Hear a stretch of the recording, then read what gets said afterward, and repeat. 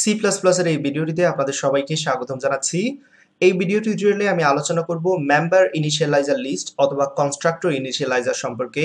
তো সেই জন্য আমি আপনাদের সরাসরি কোডব্লকসে নিয়ে যাচ্ছি, আপনারা কোডব্লকস ওপেন করে নেবেন। প্রথমে একটি নতুন ফাইল তৈরি করে নেবেন। আমি একই ফাইলের মধ্যে ক্লাস এবং মেইন ফাংশন দুইটিই ডিক্লেয়ার করব যাতে করে খুবই সিম্পলি আপনাদের কনস্ট্রাক্টর ইনিশিয়ালাইজার সম্পর্কে আমি ধারণা দিতে পারি।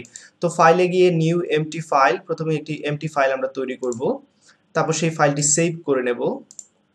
যে কোনো নামে আপনারা সেভ করতে পারেন। আমি দিচ্ছি কনস্ট্রাক্টর ইনিশিয়ালাইজার ইনিশিয়ালাইজার হোয়াটএভার যে কোনো নাম হোক, সমস্যা নাই বাট ডট সিপিপি দিতে ভুলবেন না। রাইট প্রথমে আমাদের বেসিক স্ট্রাকচারগুলো আমরা তৈরি করে নিচ্ছি। Hash include iostream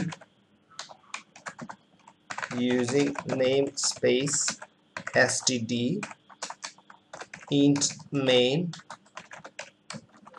perfect এবং সবার নিচে আমরা গেট সিজ দিয়ে অভ্যস্ত সো গেট সিজ দিচ্ছি।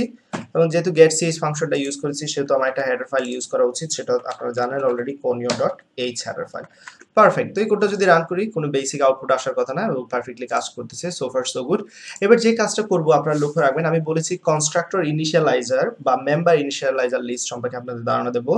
আপনারা এইখানে লক্ষ্য রাখবেন, প্রতিটা লাইন বাই লাইন লক্ষ্য রাখবেন, তারপর আমি ব্যাখ্যা করব খুবই ধীরে ধীরে, যাতে করে আপনাদের বুঝতে সুবিধা হয়। সো এখানে যে কাজটা করব, প্রথমে একটি ক্লাস তৈরি করে নেব।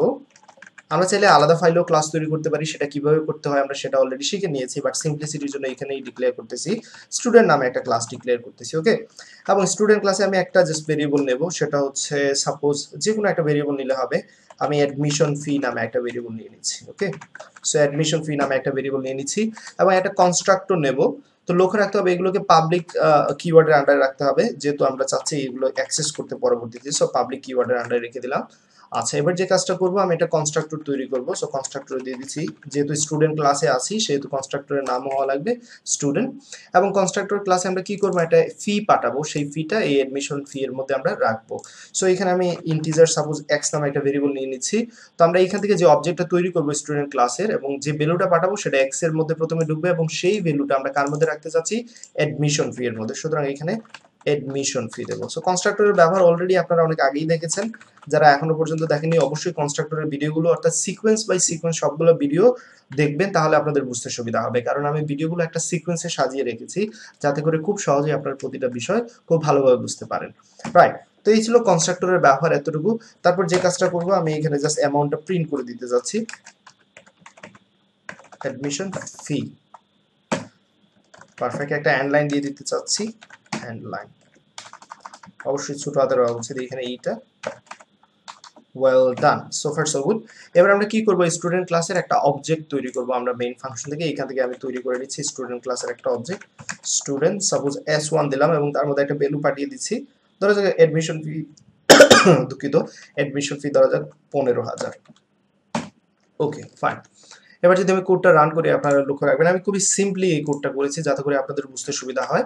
আবার বলে নিচ্ছি স্টুডেন্ট আমি একটা ক্লাস নিয়েছি পাবলিক কিওয়ার্ড দিয়েছি, একটা ভেরিয়েবল নিয়েছি, এবং একটা কনস্ট্রাক্টর তৈরি করেছি।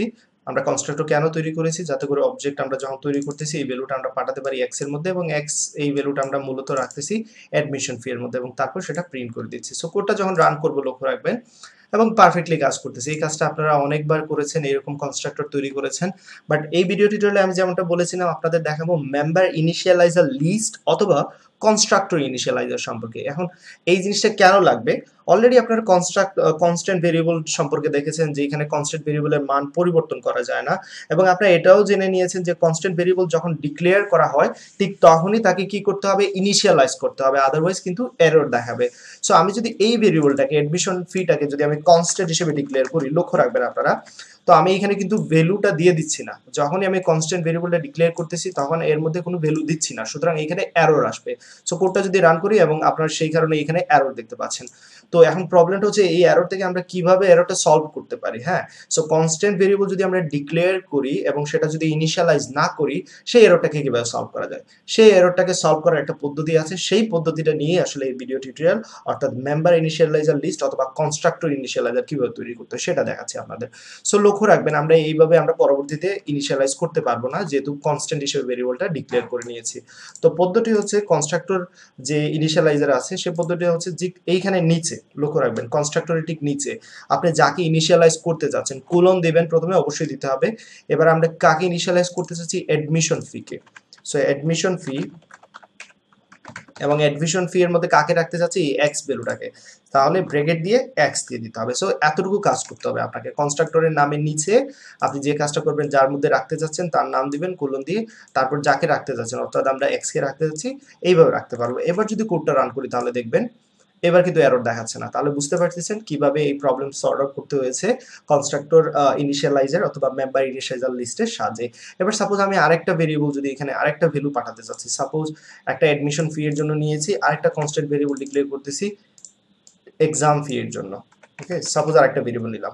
এবার এই এক্সাম ফিট আমরা রিসিভ করব কনস্ট্রাক্টরের মধ্যে সাপোজ আর একটা ভেরিয়েবল ডিক্লেয়ার করলাম ওয়াই নামে। তো এইখান থেকে আমি এক্সাম ফি পাঠাবো এবার অ্যাডমিশন ফি এর সাথে সাথে। ধরে নিলাম এক্সাম ফি হচ্ছে পাঁচশো টাকা। তো এই পাঁচশো টাকা রিসিভ করবে ওয়াই এবং আমরা সেটা প্রিন্ট করে দেখাতে চাচ্ছি সো এক্সাম ফি এক্সাম ফিটা প্রিন্ট করে দেখাতে চাচ্ছি রাইট এবার প্রবলেম হচ্ছে যে আগেই বলেছি ওয়াইটাকে আমরা যেহেতু কনস্ট্যান্ট হিসেবে ডিক্লেয়ার করেছি, সেহেতু আমাদের সাথে সাথে ইনিশিয়ালাইজ করা উচিত ছিল। যেহেতু করি না সেতে এরর দেখাবে, কিন্তু সেই এরর থেকে বাঁচার উপায় তো আমরা অলরেডি শিখে গিয়েছি। কুলন দিয়ে আমরা এই এইভাবে করে নিতে পারি কনস্ট্রাক্টর লিস্ট সুতরাং এবার যে কাজটা করতে হবে আমাকে এক্সাম ফি এর মধ্যে আমরা এই ওয়াই এর ভ্যালুটা রাখতে চাচ্ছি, তাহলে কমা দিয়ে exam fee bracket Y perfect done এবার যদি আপনার কোডটা রান করেন, তাহলে বুঝতে পারবেন।